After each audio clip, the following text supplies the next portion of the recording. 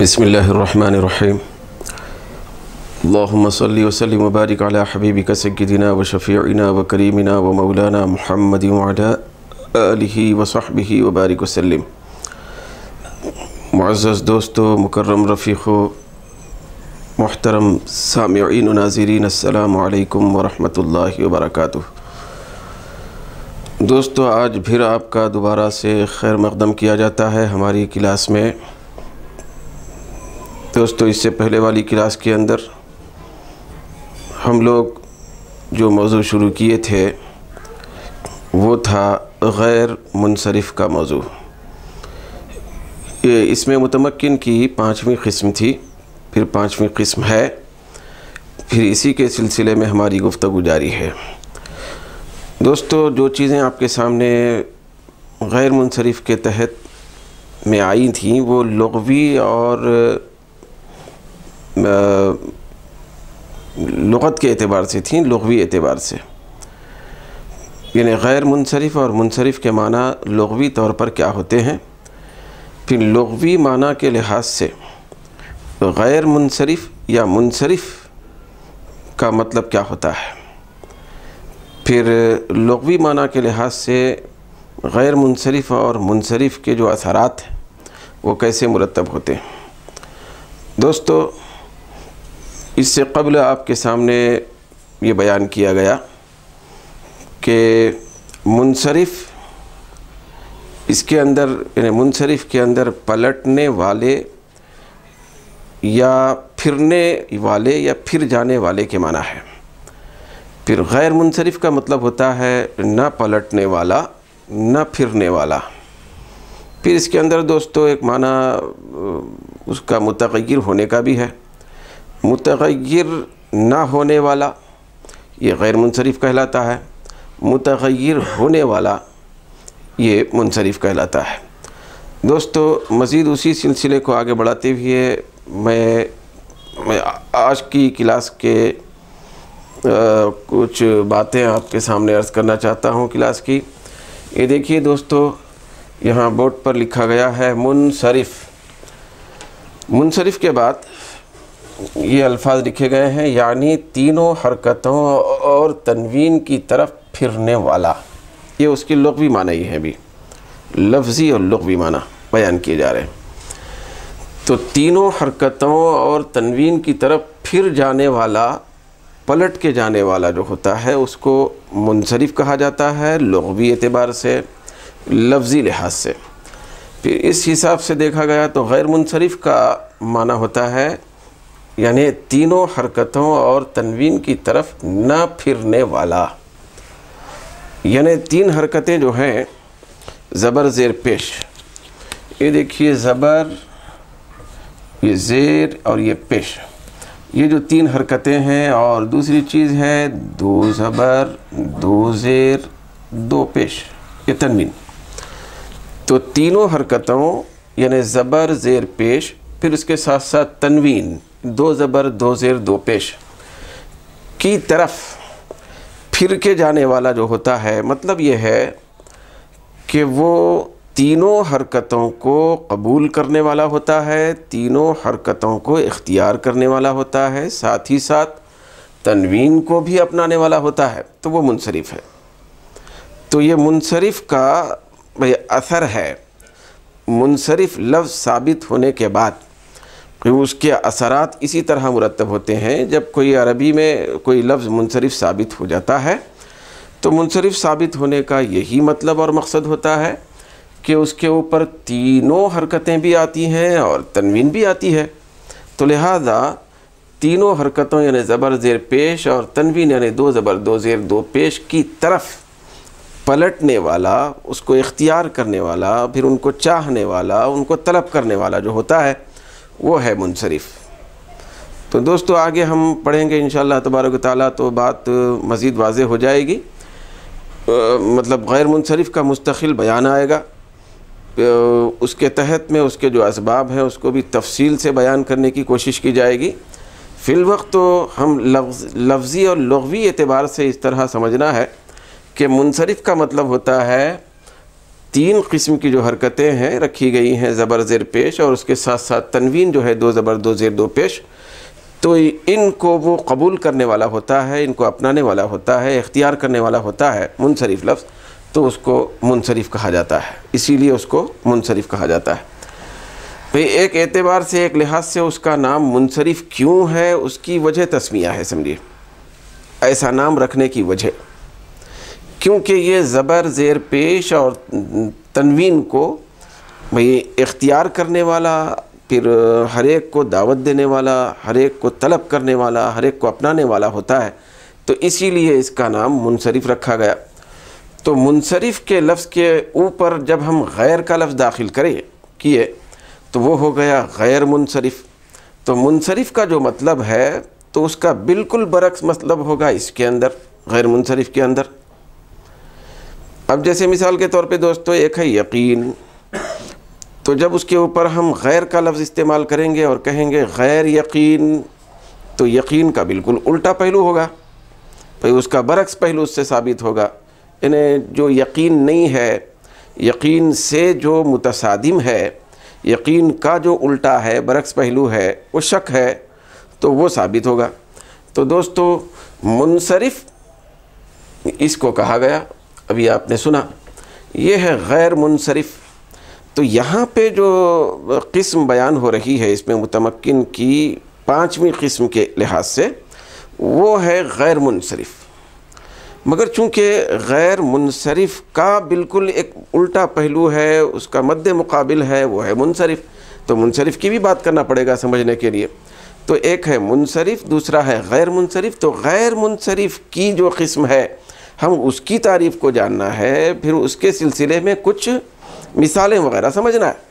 تو دوستو، یہ ہے غیر منصرف۔ غیر منصرف کا مطلب کیا ہے؟ کھلا یہاں پہ لکھ دیا گیا ہے یعنی تینوں حرکتوں، پھر اور تنوین کی طرف نہ پھرنے والا، زبر زیر پیش تینوں حرکتوں کی طرف توجہ نہ کرنے والا، پھر تنوین کی طرف توجہ نہ کرنے والا، تینوں حرکتوں کو بھی اختیار نہ کرنے والا، تینوں حرکتوں کو، پھر تنوین کو بھی اختیار نہ کرنے والا۔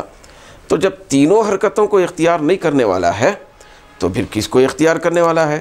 تو دوستو، یہاں تینوں حرکتوں کو اختیار نہ کرنے والے کا مطلب وہ تین میں سے ہر ایک حرکت کو اختیار کرنے والا نہیں، وہ بات نہیں ہو رہی۔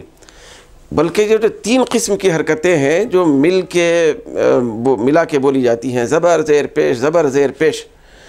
جیسے کہ اس سے پہلے والی تین قسموں میں ہم نے پڑھا تھا یہ اس میں متمکن کی پہلی، دوسری، تیسری قسم کے اندر، مفرد منصرف صحیح، مفرد منصرف قائم مقام صحیح، پھر جمع مکسر منصرف کے اندر، کہ اس کے اندر کیا تھا؟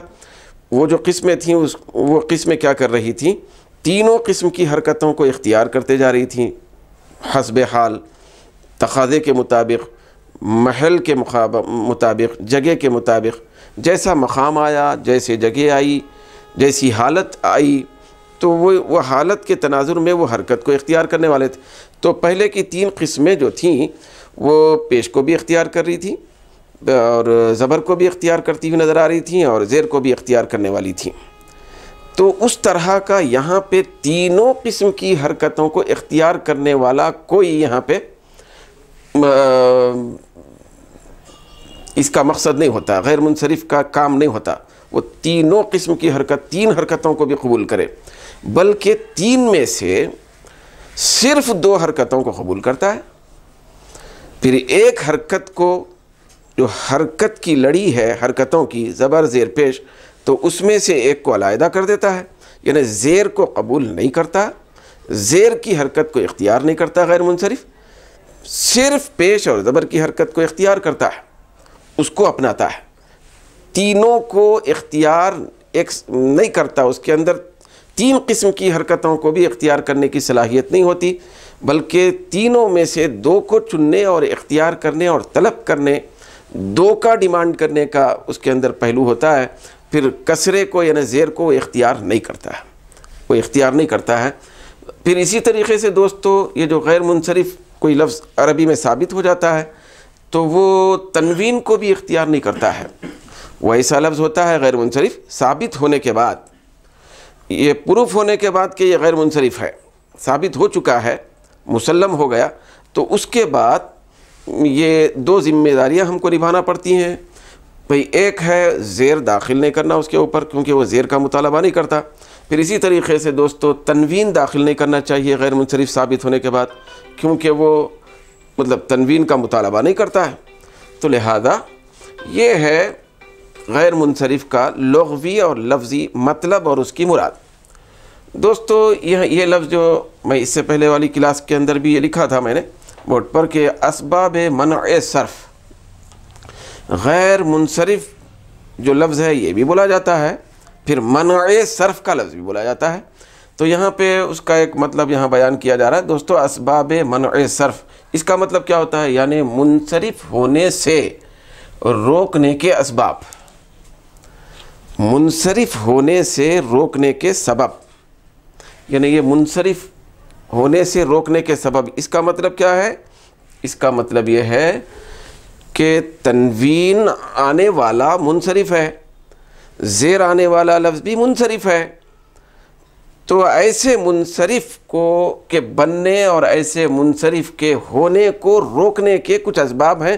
وہ منصرف ہونے کو یعنی زیر آنے کے روک سے روکنے کو، پھر تنوین آنے سے روکنے کو وہ بیان کرتا ہے۔ روکنے کے اسباب ہوتے ہیں، تنوین آنے سے روکنے کے اسباب، پھر زیر آنے سے روکنے کے اسباب جو ہوتے ہیں، اس کو اسباب منع صرف کہا جاتا ہے۔ یہ ہو گیا اسباب منع صرف۔ تو دوستو، آگے بڑھتے ہیں اور چلتے ہیں انشاءاللہ تبارک و تعالیٰ وہ اسباب منع صرف کی طرف، بلکہ میں اس سے پہلے اس کی اصطلاحی تعریف آپ کے سامنے بیان کرنا چاہتا ہوں۔ منصرف کی اور غیر منصرف کی اصطلاحی تعریف کیا ہے؟ یہ جو کچھ ہم نے پڑھا یا جو کچھ ہم نے یہاں سنا تو لکھا، تو یہ ہے منصرف اور غیر منصرف کی لفظی کیفیت، لغوی لغوی معنی۔ مگر باضابطہ اس کی اصطلاحی تعریف کیا ہوتی ہے؟ میں یہاں لکھ رہا ہوں دوستو، یہ دیکھیے، پہلے میں لکھوں گا، غیر منصرف کی تعریف۔ یہ ہے غیر منصرف کی تعریف۔ کس کو کہتے ہیں غیر منصرف؟ لغوی اعتبار سے اور اس کے اثرات کے لحاظ سے غیر منصرف ثابت ہونے کے بعد کیا اثر نمودار ہوتا ہے؟ اس کو ہم نے ملاحظہ کیا۔ تو مگر اس کی باضابطہ تعریف ہے، غیر منصرف کی تعریف کیا ہے؟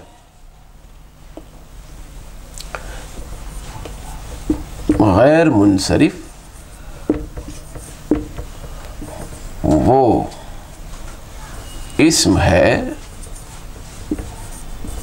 جس میں،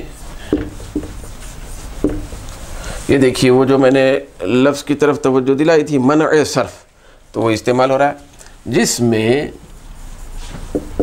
منع صرف کے نو سببوں میں سے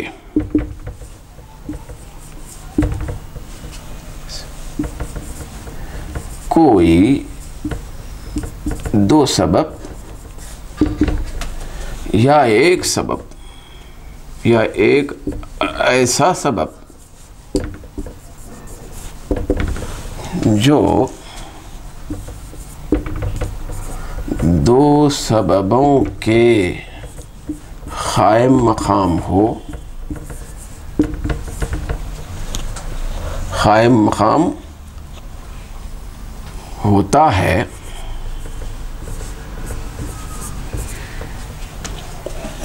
پایا جائے۔ تو وہ غیر منصرف بنتا۔ ہے غیر منصرف کے کچھ سبب مقرر کیے گئے۔ وہ لفظ ثابت ہونے کے لیے کیسے سمجھے ہم وہ غیر منصرف ہے تو اس کے کچھ اسباب ہیں۔ بھائی، اس کے کچھ وجوہات ہیں۔ تو چند چیزوں کو بطور سبب مقرر کیا گیا کہ فلاں فلاں فلاں فلاں سبب ہیں، تو ان سببوں کی وجہ سے کوئی لفظ غیر منصرف بنتا ہے۔ ہوتا ہے نا، ایسا سبب کی وجہ سے کوئی کام ہوتا ہے۔ جیسے مثال کے طور پہ دیکھیے، یہ نماز کے جو اوقات ہوتے ہیں تو اسباب ہیں وہ، نماز کے اسباب ہیں، نماز کے سبب ہے جب وقت ہوگا تو نماز ثابت ہو جائے گی، نماز پڑھنا پڑے گا، نماز واجب ہوگی۔ تو سبب کے ذریعے سے کوئی کام ہوتا ہے، کسی کام کے لیے کسی کو سبب بنایا جاتا ہے۔ تو غیر منصرف بننے کے لیے، غیر منصرف کا منصب کوئی لفظ حاصل کرنے کے لیے کچھ اسباب مقرر کر دیے گئے۔ تو جن کی تعداد ہے نو نو سبب ہیں۔ تو وہ نو سبب یہ ہیں یہ دیکھیے نو سبب۔ نمبر ایک، پہلے سبب کا نام ہے بھائی عدل۔ دوسرا سبب ہے وصف۔ یہ ہے بھائی عدل، وصف۔ تیسرا ہے، یہ ہے تانیس تیسرے سبب کا نام ہے تانیس چوتھے سبب کا نام۔ معرفہ۔ معرفہ التانیس یہ معرفہ۔ پانچویں سبب کا نام ہے اجما یہ سب اصطلاحی نام ہے اس کے۔ سببوں کے نام۔ یہ ہے اجما پانچواں ہو گیا۔ چھٹواں سبب ہے جمع۔ ساتواں ہے ترکیب۔ یہ ہے جمع، یہ ترکیب۔ پھر آٹھواں سبب ہے۔ یہ دیکھیے علیف و نون یعنی علیف اور نون۔ پھر اس کے بعد یہاں لگایا جاتا ہے لفظ زائی دتان زائی دتان پھر اس کے بعد نواں سبب ہے۔ وہ ہے وزن فعل۔ وزن فعل۔ یہ کل ہو گئے ہیں نو سبب۔ تو ان کو غیر منصرف کے اسباب یا منع صرف کے اسباب کہا جاتا ہے۔ اب اس میں یہ بتایا جا رہا ہے جو اختصار کے ساتھ آج ہم کو سمجھنا ہے۔ تفصیلی ان اسباب کا خصوصی تذکرہ اور سبق، بلکہ اسباق۔ وہ اس میں متمکن کی سولہ قسمیں ہم لوگ پڑھ لینے کے بعد شروع ہونے والے تو اس وقت تفصیل سے آئے گا لیکن ابھی فی الوقت یہ سمجھنا ضروری ہے ہمارے لیے کہ غیر منصرف بنتا کب ہے؟ تو اس کے لیے بتایا گیا، غیر منصرف کچھ سببوں کی وجہ سے بنتا ہے۔ غیر منصرف کا ہونا یہ کچھ سببوں سے معلوم ہوتا ہے۔ تو کیا سبب ہیں؟ تو ان کے نام یہاں درج کر دیے گئے، یہ نو سبب یہ ہیں۔ دوستو، گھبرانے کی ضرورت نہیں ہے کہ یہ جو نام لکھے گئے ہیں تو عجیب عجیب نئے نئے نام ہمارے سامنے آ رہے ہیں، ایسی بات نہیں ہے، انشاءاللہ تعالی۔ جب وقت آئے گا اس میں متمکن کی پوری سولہ قسمیں یا اعراب کے لحاظ سے نو قسمیں وہ مکمل ہو جائیں گی، تو انشاءاللہ تعالی ہم لوگ غیر منصرف کے ان اسباب کے سلسلے میں بھی بہت زیادہ وضاحت کے ساتھ پڑھنے کی کوشش کریں گے۔ تو یہ دیکھیے، عدل ہے، وصف ہے تانیس ہے، معرفہ عجمہ جمع ترکیب، الف، نون، زائدتان اور وزن فعل۔ تو یہ نو سبب کو اکٹھا کر دیا گیا، نو سببوں کو مقرر کیا گیا۔ ان سببوں میں سے، نو میں سے کسی لفظ کے اندر پورے نو پایا جانا ضروری نہیں ہے۔ نو سبب تو ہیں طے، مگر ایک ہی وقت میں، ایک لفظ میں پورے نو اسباب اکٹھا ہوں گے، تب کہیں جا کر وہ لفظ غیر منصرف بنے گا۔ بھئی ان سببوں کی وجہ سے ایسی بات نہیں ہے۔ یہ ہیں تعداد میں نو، لیکن یہ نو میں سے کسی لفظ کے اندر دو سبب بھی دو سبب جمع ہو جائیں۔ دو۔ دو سبب جمع ہونا ہے غیر منصرف بننے کے لیے۔ نو میں سے اگر دو سبب کسی لفظ کے اندر جمع ہو جائیں اور اکٹھا ہو جائیں، معلوم ہو جائے کہ اس کے اندر فلاں فلاں دو سبب ہیں، تو آپ بلا تعمل کہہ سکتے ہیں کہ وہ غیر منصرف ہیں۔ تو گویا کہ غیر منصرف لفظ کو سمجھنے اور جانچنے اور جاننے کے لیے ہمارے اوپر لازم ہوتا ہے کہ ان نو سببوں کو سمجھیں۔ پھر یہ نو سببوں کو جب ہم سمجھیں گے، پھر ان میں سے کسی لفظ کے اندر دو سبب پائے جائیں گے۔ دو سبب، بعض خود تین بھی سبب جمع ہو جاتے ہیں، لیکن کم سے کم دو سبب ہونا ہے۔ دو سبب کی حد بیان کی جا رہی۔ دو سبب اگر کسی لفظ کے اندر اکٹھا موجود ہوں گے، یا نہیں تو ان میں سے ایک سبب ہی آئے گا، کسی لفظ میں ایک سبب آئے گا، ایک سبب وہاں موجود ہوگا، دو نہیں جمع ہوں گے، بلکہ ایک ہوگا۔ لیکن وہ ایک سبب اتنا زیادہ مؤثر ہوگا، پھر اتنا زیادہ طاقتور ہوگا کہ وہ دو سببوں کے برابر قوت رکھے گا غیر منصرف بنانے کے لیے۔ تو ایسی صورت میں وہ ایک سبب جو دو سببوں کے برابر قوت رکھتا ہے اور مؤثر ہوتا ہے تو وہ ایک سبب بھی غیر منصرف بنانے کے لیے کافی ہو جاتا ہے لفظ۔ تو ان شاء اللہ تعالیٰ وہ ایک سبب کون سا ہوگا؟ ان نو سببوں میں سے جو دو سببوں کے برابر یعنی قائم مقام جو بولا گیا، قائم مقام کا مطلب ہے اس کے برابر۔ دو سببوں کے برابر ہے وہ، اس کے اندر قوت، پھر اثر انگیزی، پھر تاثیر، دو سببوں کے برابر ہے۔ تو کون سا سبب ہوگا؟ اس کی بھی وضاحت بعد میں ہوگی غیر منصرف کے مستقل بیان میں۔ تو بہرحال دوستو، اب یہ سمجھنا ہے کہ ان نو میں سے کوئی دو سبب کسی لفظ میں جمع ہو جائیں یا ایک سبب ایک سبب کسی لفظ کے اندر جمع ہو جائے، وہ ایک لفظ، سبب اتنا طاقتور ہو کہ دو سببوں کے برابر اس کے اندر قوت پائی جا رہی ہو، تب کہیں جا کر وہ لفظ کیا ہوگا؟ غیر منصرف ثابت ہو جائے گا۔ اس کے بارے میں یہ فیصلہ کر سکیں گے ہم کہ یہ غیر منصرف ہے۔ دوستو اب تک کی گفتگو سے میں بھی امید کرتا ہوں کہ آپ اچھے طریقے سے سمجھے ہوں گے۔ جب غیر منصرف یہ کوئی لفظ ثابت ہو جائے گا سببوں کے پائے جانے کی بنیاد پر، تو اس کے بعد اس غیر منصرف لفظ کے ساتھ ہمارا سلوک کیا ہونا چاہیے؟ ہم کیا کیسے سلوک، کیسا سلوک روا رکھیں اس کے ساتھ؟ تو دوستو، بس وہی پہلے کا سبق یاد رکھنا ہے ہم کو۔ جب کوئی لفظ غیر منصرف ثابت ہو جائے، غیر منصرف ثابت ہو جائے سببوں کی بنیاد پر تو ایسی صورت میں بس اس کا اثر یہ ہوگا، اس کا حکم یہ ہوگا کہ غیر منصرف ثابت ہونے والے لفظ کے آخر میں زیر نہیں آئے گا، تنوین نہیں آئے گی۔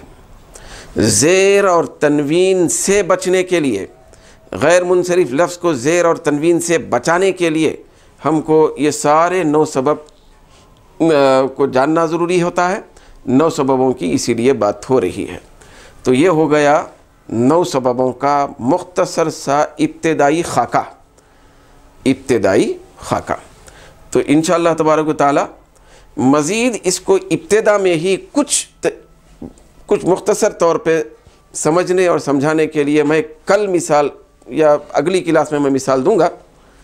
مثال کے ذریعے سے وہ، تاکہ تھوڑا سا بھی ہم ہمارے ذہن میں وہ بات آ جائے کہ ہم کیسے سمجھیں گے کہ دو سبب جمع ہو رہے۔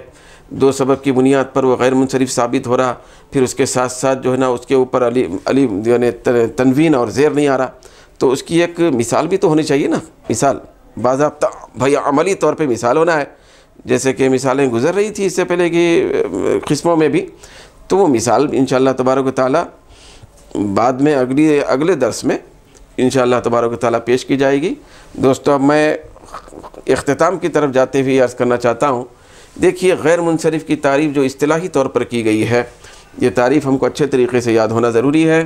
غیر منصرف وہ اسم ہے جس میں منع صرف کے نو سببوں میں سے کوئی دو سبب یا ایک ایسا سبب جو دو سببوں کے قائم مقام ہوتا ہے پایا جائے۔ تو یہ ہے غیر منصرف کی تعریف۔ پھر منصرف کی تعریف کیا ہوگی اصطلاحی؟ تو اصطلاحی طور پر منصرف کی تعریف کے اندر کوئی زیادہ رد و بدل نہیں ہے، کوئی الجھن کی ضرورت نہیں ہے۔ بس یہ جو اتنی لمبی چوڑی جو تعریف ہے، تو اس کے اندر منصرف کی تعریف اگر ہم کو کرنا مقصود ہو، تو صرف ایک لفظ کا اضافہ کرنا پڑے گا۔ وہ یہ ہے کہ یہاں ہم نے کہا، جو دو سببوں کے قائم مقام ہوتا ہے، پایا جائے، تو غیر منصرف کی تعریف میں نہ پایا جائے، نہ کا لفظ اضافہ کرنا ہے۔ نہ کا لفظ جب بڑھا دیں گے، تو اب وہ منصرف کی تعریف ہوگی۔ دو سبب نہ پائے جائیں، ایک سبب جو دو سببوں کے قائم مقام ہوتا ہے، وہ نہ پایا جائے۔ بہرحال نہ پائے جائیں گے سبب۔